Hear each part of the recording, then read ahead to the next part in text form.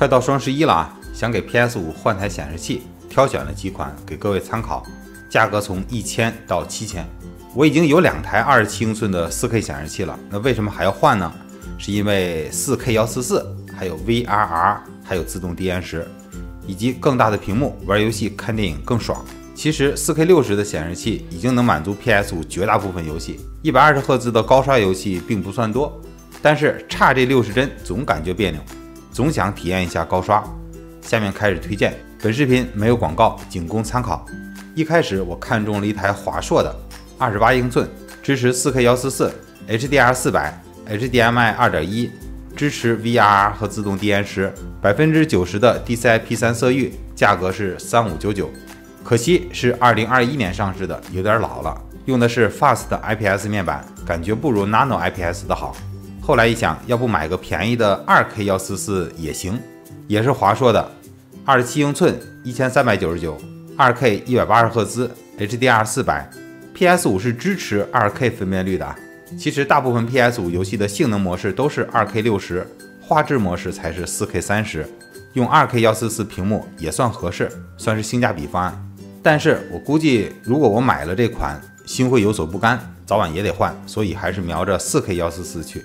于是我又看了 LG 的两款 95RP 和 95U，这两个都是新款，价格呢也一样，三四九九，都是 4K 幺四四 Nano IPS 屏。HDR 六百，但是没有标记 VRR，但是看视频评测又说支持 PS 五的 VRR，不过确定的是它没有自动低延时，作为备选吧。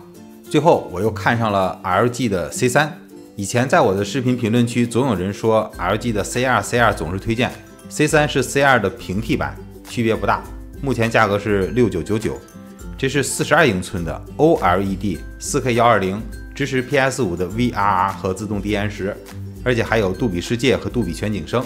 对了，这是个电视啊，不是显示器。但是它支持 NV 和 AMD 的画面防撕裂技术，很多人用它来当显示器用。但要注意的是，你桌面的深度最好是八十厘米以上。我这个桌面正好是一米六乘八十的。不过六九九九这个价格真心感觉贵，这个价格能买索尼的六十五寸的电视了。小米新出的七十五寸 S Pro 才六千五百块钱。人家还是 Mini LED 的，两千两百尼特。不过我又一看，华硕的 ROG 用的 LG C2 的同款面板的显示器要九千块钱，索尼六十五寸的 OLED 电视竟然要一点八万。其实 C3 算是 LG 的入门款，LG 的五十五寸的 G3 那个电视要一万七。这么一看，四十二寸的 C3 就不觉得那么贵了。看来我是真 out 了。不过上面说的这些对于我来说都是可买可不买的东西，这个算不算消费主义啊？后来一想，我觉得不算。